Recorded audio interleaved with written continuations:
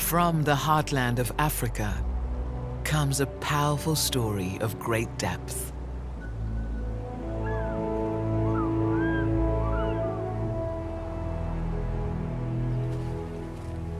A phantom from below. The shadow of a ghost. This is the story of Olimba. Her intimate embrace means both life and death.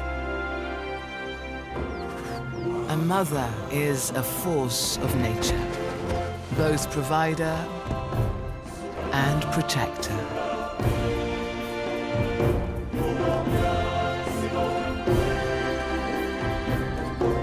She will do whatever it takes to secure her legacy.